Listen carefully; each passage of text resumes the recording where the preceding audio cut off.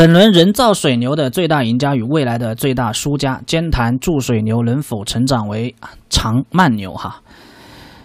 今天的成交量的话呢，已经超越了这个历史啊，达到了两点六万亿哈。那么全市场的股民情绪也已经出现了两个极端，第一个是疯了哈，第二个的话是崩溃了哈。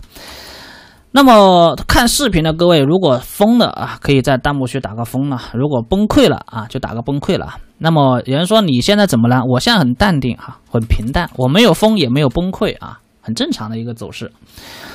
为什么我觉得很正常的一个走势呢？因为现在就是全市场在走妖股的一个逻辑哈，走妖股，走妖股本来就是走成这个样子，有什么和可这个呃觉得奇怪的呢？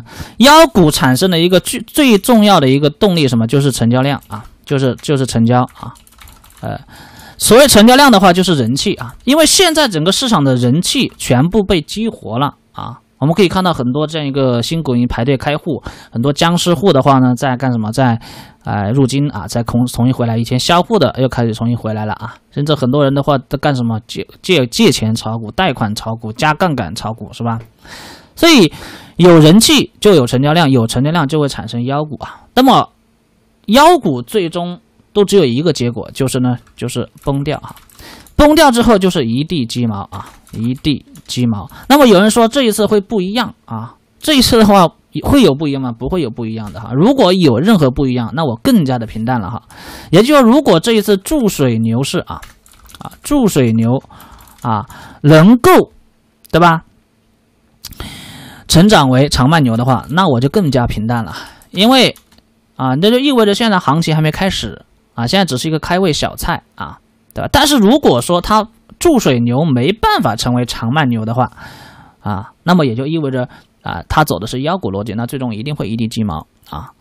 所以没有做过妖股的人才会对现在这个行情的话呢，呃，大惊小怪哈。但凡你做了妖股啊，你把指数当做是一个妖股来看的话呢，呃，至少在我看来，我现在的话呢是看的是看的比较平淡的哈，啊，所以我的仓位的话呢，也就是保持两成仓左右哈。啊，就算做差价，我也是不会用小小的一个仓位去做一下差价啊，能赚一点是一点啊。做妖股的话是能赚一点是一点，当然了，啊，但是大多数人啊，大多数人不会这么去想啊，他只会想什么？想一件事情啊，能否啊，能否快速的啊，快速的把钱赚了啊，赚到手。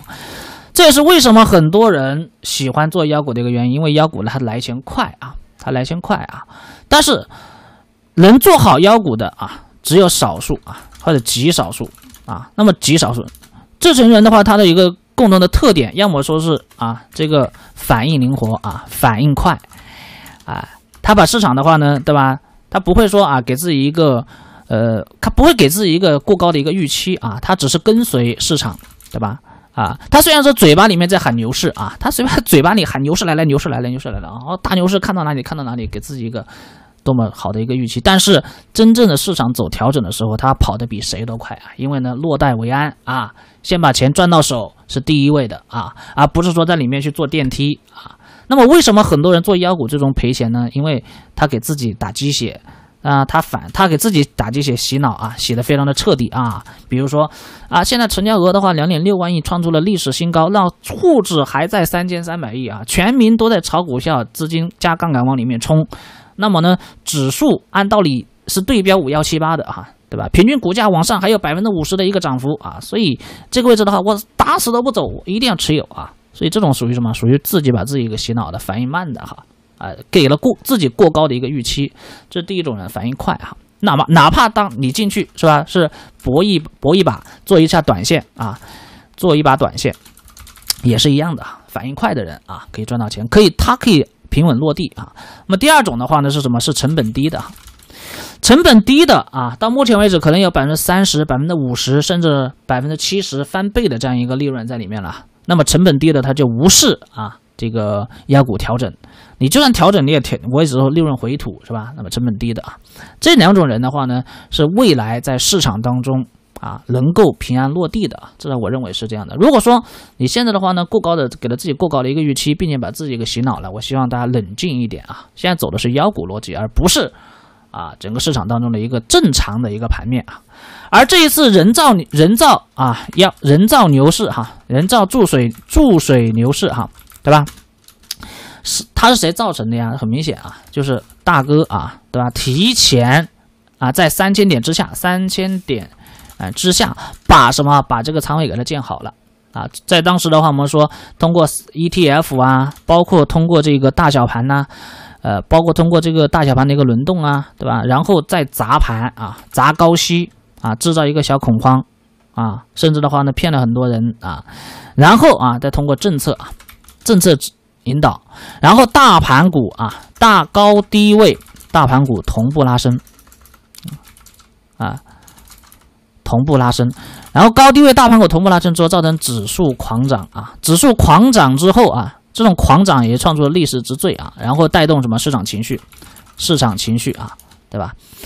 那么在整个过程中，共同导演出来的这一波啊，超级快速拉升的这种妖股啊，牛市啊，妖牛哈，就是说妖牛啊，也注水牛啊。那么谁是最大的赢家呢？一定是大哥是最大的赢家啊。其实，在市场当中啊。大哥，他其实永远都是最大的赢家。你比如说，在年前那一波行情当中啊，是谁砸的啊？我认为也是大哥砸的啊。大哥砸完底部吸筹啊，接了所有人的这样一个筹码，和这一次对吧，快速对吧，在这里不断通过这样一种打压建仓的方式，然后快速拉升啊，和前面这种是吧，呃，快速打压打压打压底部吸筹啊，然后呢？呃，慢慢涨，慢慢涨，涨上去，和这一次的话呢，通慢慢打压，慢慢打压，快快快的涨上去啊，它其实逻辑是一样的，只不过一个是正着走的，一个是反着走的啊。先是通过不断的打压底部吸筹啊，吸完之后再拉拉拉，慢慢出，慢慢出啊。那这一次的话呢，先打压打压打压，慢慢吸筹，慢慢吸筹，然后一拉一拉啊，拉升之后，它正常的走法是什么？快快出货啊啊！所以最大的赢家呢，对吧？就是大哥啊。而且，对于对于 A 股来说，大哥在无论何种情况，他都是最大的赢家啊。那么谁是赢家啊？赢家是谁啊？是目前赚钱的啊，目前赚钱的，最终对吧？一地鸡毛的时候啊，一地鸡毛的时候啊，又能够守住钱的，守住啊签的啊，这种人的话呢是赢家啊。不管你是赚多赚少。啊，你都是赢家，呃，所以现在的话，到目前为止，我相信所有买进去的人啊，都是赢家啊，因为妖股在兑现利润之前，在开始出货之前，啊，所有人都是上涨的，都是都是赚钱的，没有一个人亏钱，除非的话你害怕啊，呃，选择了什么追高，然后杀跌卖卖出，追涨买入，然后调整的时候割杀跌卖出，就做了所谓的反踢嘛。做题做反了，那么你你就是亏的啊！这群这种人的话很少的啊，至少在，呃，这种情况之下啊，所以现在可以说大家都是赢家啊，但是最大的赢家一定是大哥啊，而且的话一定啊，这个最后还是他啊。虽然说现在大家是赢家，但是啊，一动鸡毛的手是钱的啊，你能不能把钱守住啊？啊，这是一个非常重要的问题啊。好，那么谁是谁会啊成为最大的输家呢？最大的输家。啊，很明显啊，最后的接盘侠啊，最后的接盘侠啊，呃，那么我们就讨论两个问题：第一个，谁到底会最最后的接盘啊？谁啊会去接盘哈？也就是说，谁会去啊在最低点买，最高点买入啊？啊，韭菜嘛，啊，谁会当这种韭菜呢两种人啊？呃，两种人啊，一种人什么？一种人是纯粹的。新股民啊，呃，对吧？你比如说现在还在开户路上的啊，周末不开户，上周不开户，现在还在开户路上的啊，呃，还没搞好户的，然后哎，周节后充钱，然后里面充一充的话，可能就是最高点接盘啊。第二种的话呢是什么？是是是原本啊空仓或者说原本清仓的这群人啊，原本空仓或者原本清仓的这波人，那么这群人手上关键是他有钱，知道吗？现在大已经干进去的人已经满仓满融是吧？满仓满融干进去的，干进去的这群人他没有钱了，他再搞钱，除非是借钱啊，去变现啊，去变卖资产啊，变卖资产啊，把房子卖掉，把车子卖掉，甚至有些人的话呢，把老婆还挂在网上啊，去卖掉，这 是啊变卖资产，然后去筹钱去去买，这群人是吧？啊，是没钱的，现在已经感觉那是手上没钱的，而我们啊，或者说我自己啊清仓，我现在手上是有钱，所以啊有钱你是否会选最终的话呢去接呢？啊，这一定会有的哈，一定会有的啊。所以这两种人的话呢，呃，会去会去成为接盘，也就是最终这两群人啊，两种人啊是买单的哈，是买单的。还有一种人的话呢，是什么呢？是啊，做做短线啊。虽然虽然说他现在是满仓，或者说之前是满仓，但是中中途是吧卖飞了，中途卖飞了怎么办？他现在卖飞了，现在是手上是钱呢，这钱烫手知道吧？这钱烫手的很，非得把它变成股票，非得去买成股票才放心啊。所以，啊，这种钱的话呢，卖飞的人啊，他把股票卖成钱了，卖给别人了，变成钱了，然后啊，这这些钱的话呢，放账户里面烫手啊，逆回购啊，也不肯逆回购，然后赚点利息也觉得少，然后 还是要买成股票啊，啊，不管是今天啊，或者昨天啊，呃，上周啊，对吧？卖完之后今天又追进去，还是今天卖了，下周再追追啊，节后再追进去啊，总归的话，中途卖飞的人也会去成为最后的一个接盘侠，所以谁会去接盘，是吧？呃，那么第二个啊，会啊会出现对吧？呃，像妖股一样啊，像妖股一样的调整吗？大调整吗？因为如果说走势如果能够一直的像这么去走啊，源源不断的啊，两点六万亿也不算是最高量啊，三点三五点五万亿也不是啊，五万亿也不是，十万亿也不是啊，成交量能够源源不断的从十。一天的成交额干到五十万亿是吧？一百万亿啊，那就没有任何调整了啊，天空才是它的尽头。但是可能吗？我觉得是不可能的，呃，我觉得是不可能的。就像妖股一样，妖股连续的涨停或者连续的一字板，只要它不是什么，只要它不是中途经过充分的换手。没有充分的换手，它就一定会有积累大量的什么获利盘，而这种获利盘的话，它什么？它是会产生这种连锁效应的，啊，一个获利盘卖出，然后产生连锁效应，然后新的啊资金啊卖完之后啊，能够啊接力起来，把它接起接力起来，哎，那么这个妖股就会继续走走二波啊，甚至的话走三波，你比如说。呃，五幺九行情，它就是通过接力，不断的接力啊，接力接上去的。那么中途的资金量的话，也是非常的庞大。但今天这种走势放的量太大了，我让我觉得和五幺九行情啊重演重演五幺九行情的可能性是极低的哈啊是极低的。这让我更加的担心啊，接下来的注水牛啊，注水牛的持久性啊。如果说它。它经过啊这个持续中途的这个换手，有这样一种洗盘，对吧？换手其实某种时候就是充分的洗盘，啊，垫高大家的一个平成本啊，哎，把做短线的洗出去啊，然后的话呢再往上拉，那么这个呃获利盘。它就它就会成本就会往上垫啊，这是这是为什么洗盘的一个基本道理啊。所以到目前为止，整个市场的话是没有任何的这样一个分歧的啊。也就是说，妖股的第一波啊，目前在走妖股的第一波啊，而妖股的第一波能走多远，是没有任何人能够预计到的。人家取决于什么？取决于市场的疯狂程度啊啊，对吧？疯狂程度啊，对吧？所以现在的一个整个走势的话呢，在我看来哈，我的一个人理解啊，我的一个个人理解，相当于什么？相当于。啊，相当于啊，是对 A 股啊市场的一个什么破坏啊？它是一个破坏啊！这种上涨其实对市场的一种破坏，破坏什么？破坏性的呃开采啊，呃，破坏性开采。什么叫破坏性开采呢？因为我们知道哈，大哥是吧？是市场永远都会是市场最大的一个赢家，而这一波大哥也是赚钱的，呃，这一次大哥是吧？啊，一只股票啊，一只一只妖股，大家都知道，一只妖股一旦对吧，炒了一波大的，炒了一波大的，那么未来的话呢，是经过长久的调整，长久的调整，面临非常长时间的一个调整，然后才会开启什么？才会开启第二波啊，才会消化这一波呃炒作所带来的这种各种压力。对吧？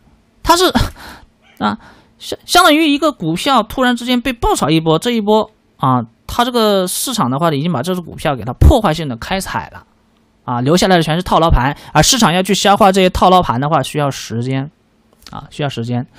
打个比方啊，相当于你是吧，三个月的钱或者说半年的钱，半年的钱啊，你给他一个月给啊啊，你给他一个月啊，一个月给。赚赚完了，或者说一天啊，一个星期啊，给赚完了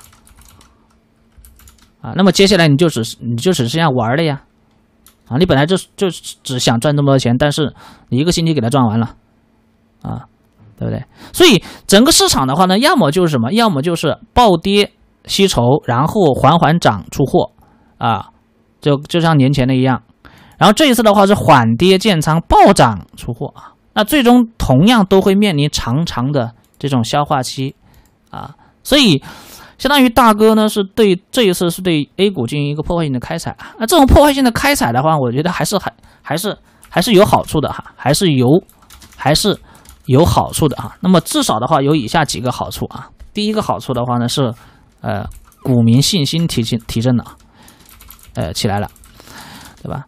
相当于这一次。啊，我相信炒股票的啊，对吧？这这种知名度啊，或者说你你在里面套住的啊，这一次大回血啊，是吧？大回血，你有信心了，你甚至在家里面的这个地位都起来了啊。所以股民信心有起有好处啊，新股民啊，新股民啊进来了。股市说我们说股市里面要有什么？是它有源源不断的资金流入啊，现在一直都是存量资金在玩啊。为什么一直存量资金在玩啊？因为，呃，大家零零后、九五后是吧？呃，九五后、零零后是是新生代嘛？啊，九零后也也有很多九零后不炒股，但是，呃，我是九一年的哈，但是我我炒股十多年了，不知道九零后应该是有不少炒股，但是九五后，对吧？跟我同龄的啊，差不多啊，还有零零后，基本上对股市是没有任何任何呃想法的。但是这一波它将会吸引大量的这样一个。新股民进来啊，这股市的话呢，新韭菜来了。新股民其实就是新韭菜啊，他们不知道股市到底为何物啊啊，以为股市的话很简单，实际上远不是如此啊。那么第三个的话呢，也就是在国庆节期间啊，发红包啊，促消费啊，这也是一个非常合乎常、合乎逻辑的东西啊。因为你说房子要企稳呢，对吧？房子要企稳，然后消消费要要那个啊，要买房，买房没钱怎么办？发红包是吧？刺激一下啊。当然，这个这个搞得不好，很多人都会去卖房炒股票了啊，对吧？导致这个房价可能还会压着往下打，尤其是二手房价格。所以发红包啊，促消费也是一个非常啊好的一个逻辑哈。第四个的话呢，打爆空头啊，打爆空头啊，啊，人家说你空你就是个空头啊，说我是个空头，扯淡啊，我不是个空头，因为我又没做空啊。我虽然说我在我只是在等好的一个买入机会，我没等到而已，对吧？这我这我叫踏空，我不叫我不是空头，我也不是做空的啊，所以没有理由去打爆打爆我呀，是吧？我是一个多头啊，只不过说，呃，我没有碰到我适合的一个机会啊，或者说错过了这个机会啊。而真正的空头是什么？是做空 A 股的啊那些资金，对吧？呃，尤尤其是在什么？尤其在股指期货当中啊啊，特别是一些呃恶意做空的，是吧？恶意做空的，给他一点教训啊。那么第五个的话呢，可能还是在。呃，为这个外围市场啊，外围市场的不稳定啊，去对冲啊。如果说假设在在整个春国庆期间，外围市场不稳定的话，甚至的话大跌啊，你比如说日本股市、韩国股市今天不都跌了吗？呃。然后等等啊，各种基本面政治事件哈，地缘的一些事件，包括外围股票市场的一个不稳定等等打造啊，去对冲啊，就就给你情绪，因为我在节前我暴涨的，那么节后还会有一波新资金冲进来啊，那么的话呢，就不会像之前几年国庆节之前对吧？呃，涨的时候是或者说情绪不够啊，然后外围发难，然后我们这边的话呢，节节后开始就出现了呃这个狂泻啊，大家都都在卖啊。对不对？所以我觉得还是有好处的啊，但这种破坏性开采还是啊有这些好处，嗯，但这种好处的话，我认为我认为是长期的啊，啊是长期的啊，但是对于中线演化而言，中线啊演化而言，呃，其实可能接下来啊，整个市场的话，在节后啊，节后还有一波资金进来嘛，节后还有一波啊资金进来，因为节后过了这个呃兴奋期啊，你该开户的、该开户的啊都开了，是吧？啊，想必这个春节国庆期间。一些券商的话还会啊派这个人加班去给大家开户啊，所以七天的一个时间是能你想只要你想开你就能开，对吧？只要你想激活你的账号，只要你想去搞钱，你都能搞到。所以节后还有一波资金啊，然后这一波资金的话将会成为什么？将会成为我认为将会成为啊可能是最后一波资金吧啊最后一波资金啊。那么这一波资金之后还有没有资金？那取决于什么？取决于啊市场。啊，市场强度哈。如果说啊，节后这一波资金冲不进来了啊，开完之后啊，整个市场开始调整了，那么不开的人他就不会开了啊，是不是？开的人都开过了啊。如果说节后行情开始，啊，妖股开始大跌，开始调整，开始走长时间的调整走势，对吧？那那么不开的他也不会进来了，我进去给你接盘嘛，是不是？啊，是这样一个道理啊。呃，所以。节后还有一波资金冲进来，这一波资金冲进来之后，是不是成为接盘侠啊？或者是不是还有资金冲进来？它取决于节后市场的一个强度啊。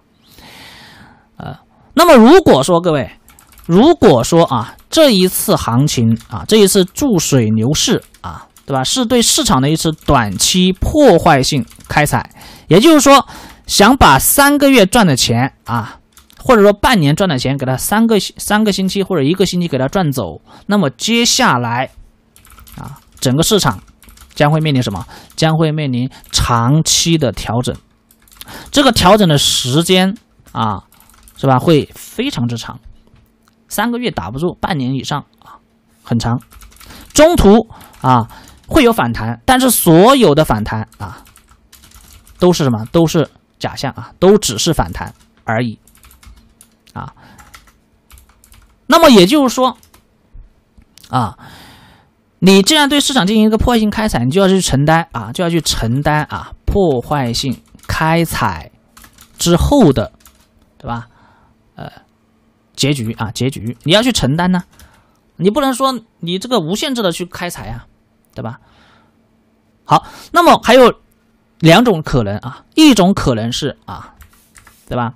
这种是破坏性开采之后，就会什么？就会形成啊，呃，这个一九九四啊，一九二零零四年的走势啊，走法啊，就创新低啊，对吧？就创新低。那么还有一种的话呢，就是注水牛啊，注水牛市啊，能否演化为长牛慢牛啊？长慢牛啊？因为大家都知道哈，一五年之后到现在为止，十年都没有牛市啊，将近十年哈都没有牛市。之所以这么久都没有牛市，原因是什么？原因啊，就是杠杆牛市哈的一个对市场的什么？对市场的对杀伤力啊太大了，它对市场的杀伤力太大了，它需要花十年的时间去消化当时这一波牛市所带来的这样一个市场伤害啊，调整了这么久，对吧？所以，呃，站在大哥的角度啊，站在大哥的角度，他肯定是不希望再产生一波类似一五年的啊这种注水杠杆牛了啊，注水杠杆牛啊是不希望看到的啊，更多的是希望看到什么一直在引导的长慢牛啊。那么这一次啊，对市场进行一个破坏性开采所产生的一种注水牛的雏形啊，我想必的话呢，他对不对？要主动的啊进行什么？进行调控啊，你比如说今天盘面有有两个比较重要的一个小细节哈，第一个细节的话就是早盘，对吧？呃，我们用一分钟来看早盘的话呢，这一波下跌啊，是一波集中性的一个卖出啊，是一波集中性的一个卖出，卖完之后它不卖了啊，这里也有一波集中性的卖出啊，那么这种两波集中性的卖出到底怎么去理解呢？什么人在卖啊？第一个啊，散户。啊，就是最近刚入市的散户是八成不会卖的。第二个的话，获利盘啊，他不会主动去卖，但是他会跟风卖啊，他会跟风卖出，也就是说，这种人被卖卖出之后做短线的啊，对吧？那么第三种的话呢，就是就是大哥啊，这一波下跌跌完之后，市场走出了这个中小盘的一个一个转换啊，大盘股和小盘股的一个转换。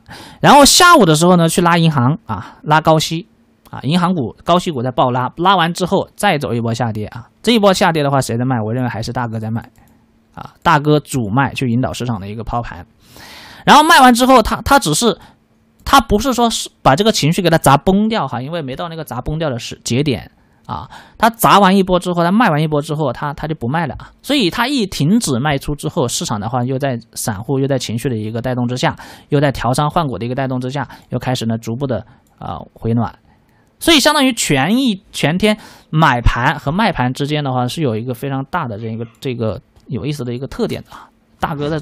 其实，在我看来的话，其实大哥在主动的一个调控啊，这个上涨的一个力度啊，但是他不是说疯狂的去打压啊，因为节点不到，节点不到，也就是说集中大量啊出货啊的时间节点啊不到哈，你不能说对不对？明明节后还有一波，还有一波新股民，还有一波资金进来，对吧？我现在就把你给把你们给 对不对？打消了这个进来的一个念头，不好啊。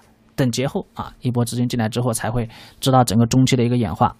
好，如果说大哥想把这一次的注水牛引导成啊，注水牛引导成对吧，长慢牛的话，呃，那么一定是什么？一定是通过一个一到两个月的一个震荡啊，一到两个月，甚至两到三个月的震荡啊，去把大家的一个情绪逐步的演化到啊真实。打个比方啊，就是什么呢？就是一九年之后的一波行情啊。现在我们可以看，把这三三三个月连续拉升啊，和这一个月的一个连续拉升，当做是类似哈，当做是类似啊。成交量放那么大之后啊，它会通过两到三个月的震荡，然后啊，对吧？两到三个月的震荡啊，去把这个市场情绪给它消化掉。市场情绪在这两个月两个月消化之后呢，再引导出慢牛的一个走法啊，引导出慢牛的一个走法。啊，要么就是什么，要么就是注水牛之后走完之后震荡下跌，震荡下跌，震荡下跌，震荡下跌，这种走法，啊，就继续进一步探底，是不是？整个市场的话，无非就接下来就你走牛市啊，有人说就不能这么去走吗？就这么去走吗？啊，像类似这种这么斜率走吗？现现在很多人都把现在的走势当做这个走势去走，啊，其实我觉得是不太理性的，要么就是通过调整，然后走一波。长牛慢牛啊，然后呢，通过这个震荡之后，是吧？呃，开始震荡震荡拆跌，相当于把一个月的三个月的钱给他呢，用一几九月份啊，后半天一个多一个多星期给他赚走了，知道吗？所以至于啊，我们说这个。说这个注水牛能否成长为长慢牛的话，要看什么？要看接下来两到三个月是否有两到三个月啊，最少是一到两个月啊，长的话两到三个月甚至更久的一个震荡去消化啊，去消化市场的情绪啊，消化的好，对吧？那就是引导出长慢牛，那个时候我在入场，我在加仓，对吧？那就是我加仓的时候啊。你想我在第一波的时候，在走杠杆牛的时候，你想我去成为接盘侠？你想我去搞牛股的第一波，你叫我去赌啊？对不起，我做不到啊，我做不到啊。如果你做得到的话，你就去做，我不拦着你啊，对吧？那么空仓的也是一样的，要等这两到三个月的消化，看走势的一个演化，到底是破坏性开采之后的，对吧？阴跌震荡下跌，还是一到两个月消化之后的啊这种长慢牛啊？好了，就说这么多啊。啊，最后的话呢，也祝大家所有的这个 B 站的朋友们啊，这个过节快乐，国庆快乐。